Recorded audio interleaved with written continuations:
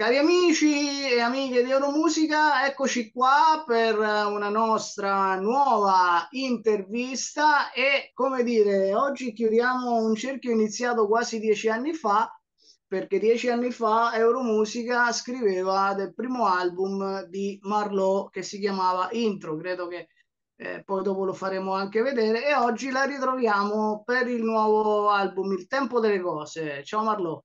Ciao, ciao Beppe, ciao Emanuele, grazie. Allora, eh, tanto io direi Beppe se fa, fallo vedere magari no, dieci anni fa questo articolo perché insomma ne parlavamo a microfoni spenti, no? Siamo stati fra i primi poi a raccontare del tuo debutto, del tuo percorso musicale. Sì, esatto, infatti dicevo è una cosa che mi ha colpito molto perché a parte che mi sembra ieri, e in realtà ieri non è, però è stata una delle prime volte che ho, in realtà, guarda, adesso non vorrei dire una cosa, ma tu hai scritto di me ancora prima ehm, del disco, cioè tu mi hai citata in qualcosa legato a... Esatto, anche a- ai concorsi, quindi a- ad un certo punto io ti ho, cioè, ti ho intercettato molto prima e quindi diciamo che stato sulla terra, il primo singolo, no? Sì, Giusto. sì, sì, sì, sì. Quindi per me è stata una cosa molto bella quando mi avete scritto, insomma, sono molto contenta, grazie. Beppe, a te. Sì, adesso a proposito di tempo e passa, sono passati dieci anni da quella prima volta e è proprio il tempo il protagonista di questo tuo ultimo album, no? Ce ne puoi parlare un po'? Sì, eh, allora questo è, insomma, il disco si chiama Il tempo delle cose e anzi stavo per dire non è un concept album, però mh, ho nelle orecchie il mio produttore artistico Giampiero Mariani che sono tre giorni che mi dice perché dici sempre che non è un concept album?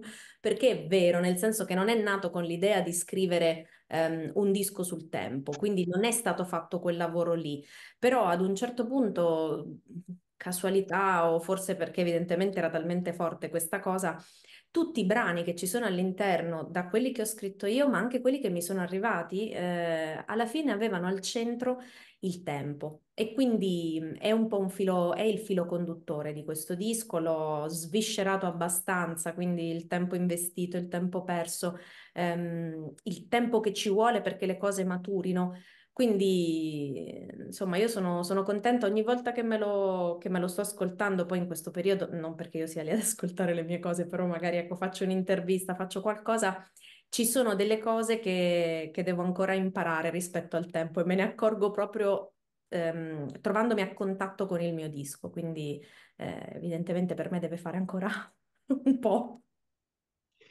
No, la, la cosa che a me ha piaciuto, ehm, diciamo, ha colpito, poi io ovviamente ti conosco, ascolto le tue cose, quindi diciamo non, non sono rimasto sorpreso, però eh, sai, in un tempo in cui eh, si consuma un altro tipo di musica, una musica che va, come dire, di, di facile consumo, un po' chewing gum, no? Usa e getta. Questo è un brano, una- un album da ascoltare molto lentamente, con canzoni con sonorità diverse, che non è facile anche poi ritrovare nelle radio. Ah, penso anche al cantautorato italiano, no? Artisti come Diodato, eh, che magari sono quelli che più si avvicinano no, a questi tipi di sonorità. E comunque è una sonorità ancora diversa. Mm.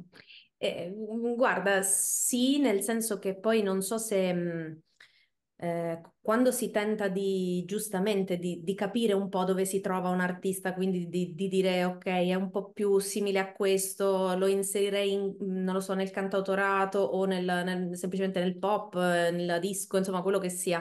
Ehm, è- è sempre un po' complesso, io non so mai, non so mai bene dove collocarmi, direi una sorta di pop d'autore, ci, ci provo, diciamo una cosa del genere, però la cosa di cui sono contenta è che rispetto, anche rispetto al mio primo disco, ehm, e, mm, le cose che ci sono qui dentro sono quelle che mi piacciono, quindi per quanto io ehm, anche nel primo disco ero convinta di aver fatto questo ragionamento qui e L'ho fatto, però ero più giovane e quindi in realtà la verità è che un pochino ho sentito l'influenza del dover stare un po' più al passo con i tempi, per quello che comunque insomma sono riuscita a fare. Qua invece questa cosa non c'è minimamente, quindi semplicemente è quello che mi piace, sono i suoni che mi piacciono, quelli che riesco poi a, a, riprodurre anche dal vivo, quindi quelli che più facilmente mi rispecchiano, perché per esempio quel primo disco dal vivo per me è stato molto complesso poi, perché rendere tutta quella roba lì, devi essere quella roba lì e io non ero propriamente molto in linea con quello, quindi sono, sono contenta, mi piace, non, non, è stato fatto ecco, un lavoro pensando ai, a dove deve andare, a chi lo deve ascoltare, ma eh, io ho pensato, ho cercato di fare una cosa che se l'ascolto io sono soddisfatta e non mi pento di quello che ho fatto. Beppe. Oh, e, e in questo, in questo disco, in questo lavoro si sente tutto quello che ti piace e si sente e ci sei tu veramente e, e, e l'artista e, crea qualcosa per il, per il pubblico ma, e per, per se stessa e si sente anche un forte richiamo di una zona particolare della tua terra, no? Nono, la nona traccia di questo disco è una, una rivisitazione, possiamo dire così, di un brano popolare. Sì, esatto. Quello, diciamo che Tutte le fontanelle è un brano della tradizione popolare abruzzese è il primo brano a cui ho lavorato dopo appunto sette anni dal, dal primo disco, ero, ero, completamente ferma dal punto di vista della, della, creazione proprio. E ho incontrato Chiara Raggi e Musica di Seta che sono rispettivamente la, la mia produttrice e l'etichetta mh, mm, che Chiara ha fondato che è proprio mh, mm, specifica per la musica d'autrice.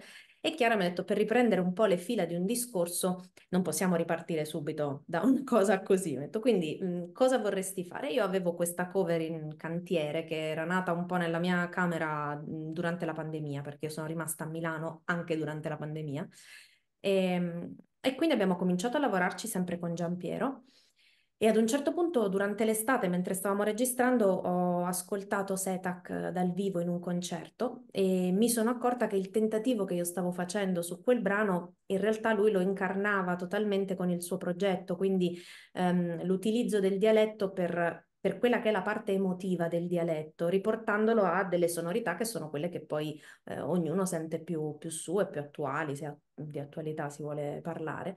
E quindi abbiamo, insomma, io ho chiesto che ci potesse essere anche lui, lui ci ha detto di sì e quindi poi è nata questa collaborazione che per me è sia una cosa molto bella artisticamente parlando, ma mi ha permesso di mettere dentro questo disco qualcosa della mia terra eh, e soprattutto, cioè anzi, soprattutto in questo momento che sono tornata a vivere qua. Quindi mi sembrava un po' il, il punto di inizio giusto per riprendere un discorso.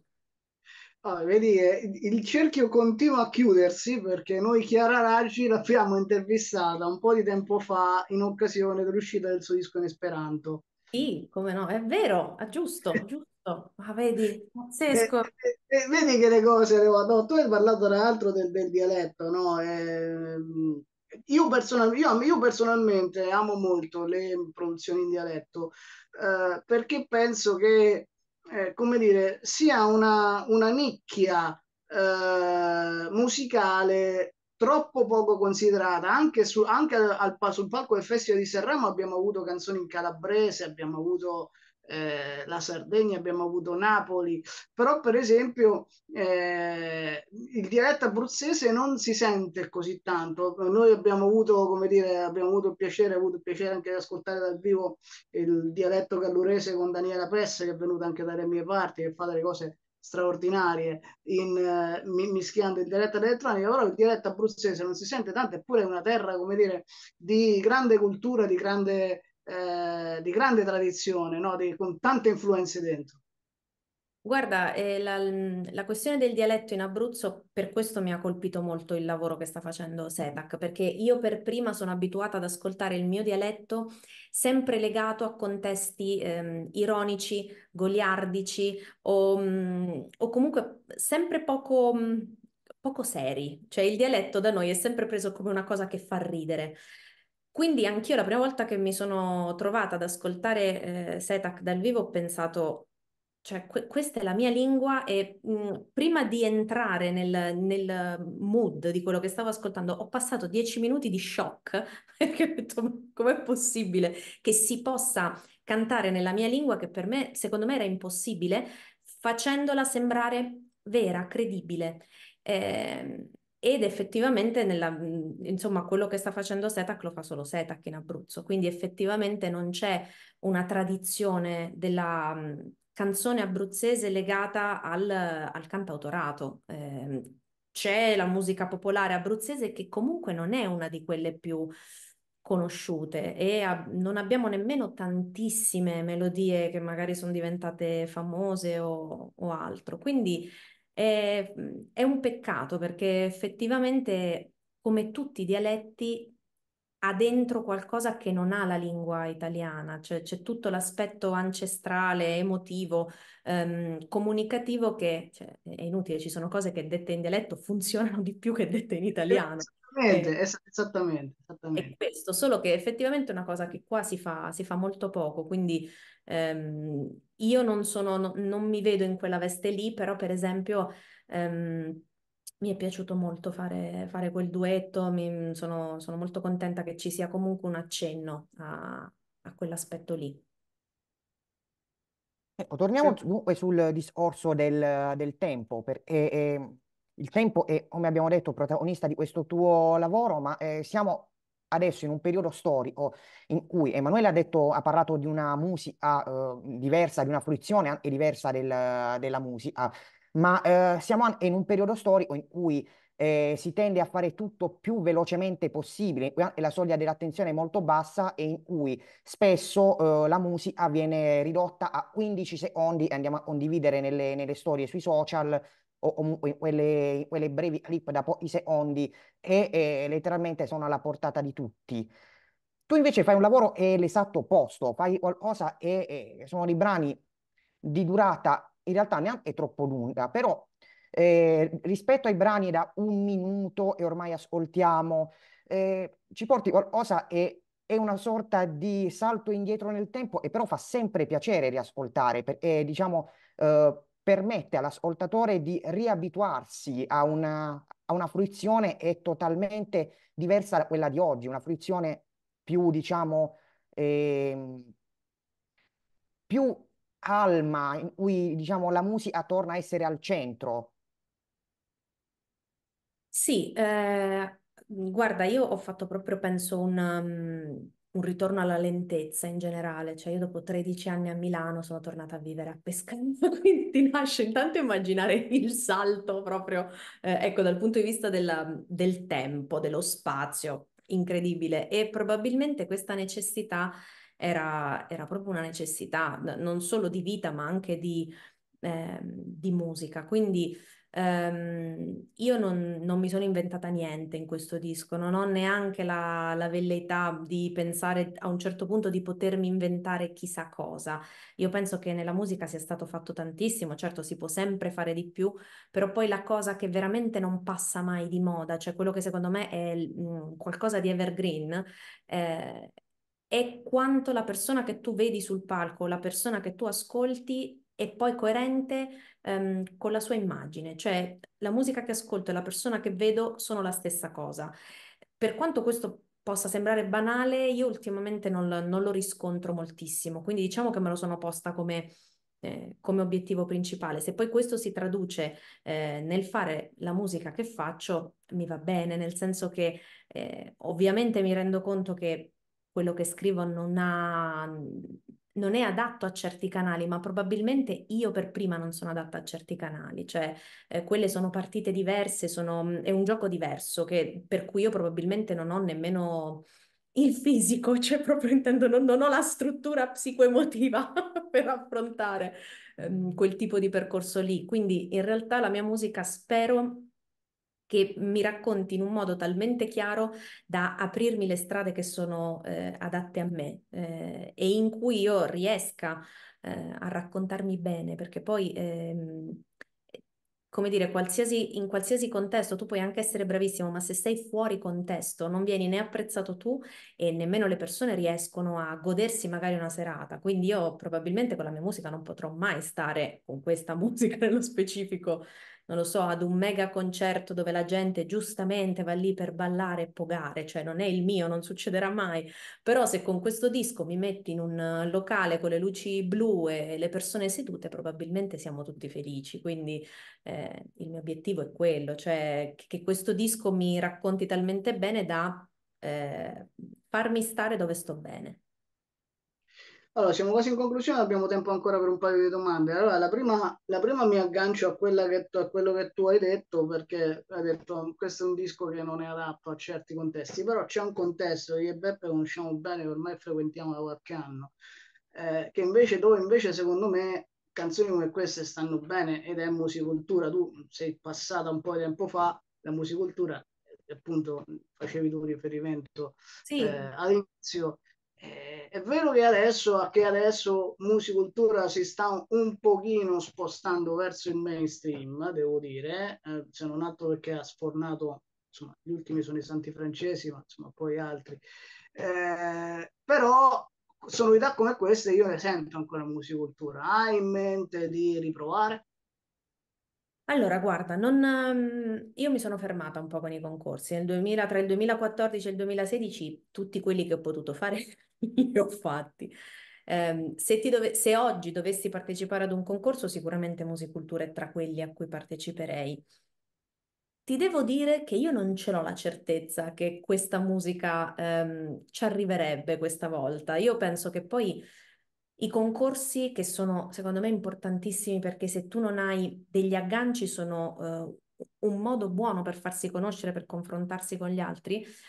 Ehm, comunque come dire, c'è sempre bisogno che si mettano insieme tutta una serie di condizioni, magari il pezzo giusto al momento giusto, nell'anno giusto, cioè ehm, non so se questa musica sarebbe, mh, mm, cioè se in gara avrebbe una, una chance, però sicuramente se, se, dovessi provare un concorso musicultura è tra quelli, sì. Comunque mi sa che adesso sono già fuori tempo perché oggi mi sa che sono usciti. Quindi... Sono usciti ah. proprio in queste ore i, i partecipanti, sì.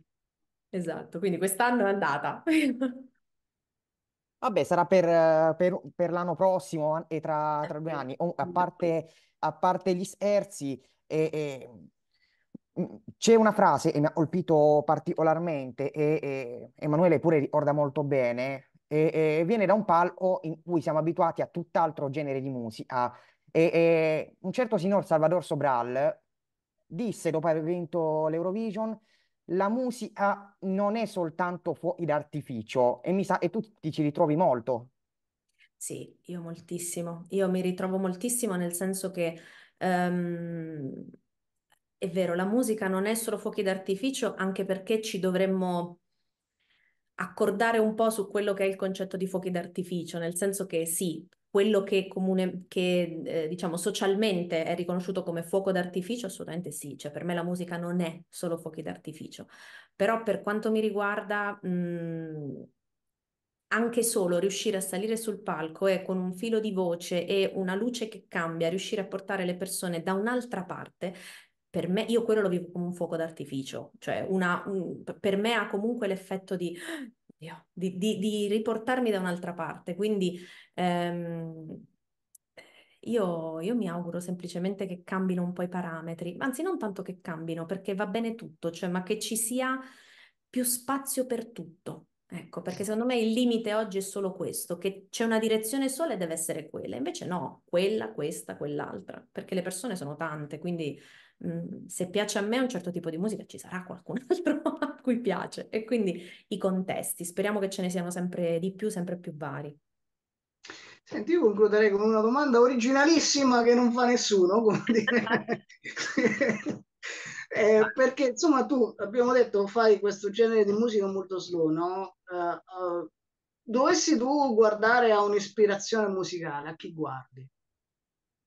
Io da sempre ho Sarah McLachlan come, mh, mm, come donna che scrive, come cantautrice, per me lei è, è, meravigliosa. Uno dei suoi brani è stato Angel, per me è stato un riferimento da sempre, come, ma come modo, cioè il fatto che lei, ecco, si sieda al pianoforte con un pezzo così, ecco, slow, eh, eppure riesca a tenere tutti catturati. Quindi ti direi Sara McLachlan, come ti direi Niccolò Fabi in Italia, Cristina Donà.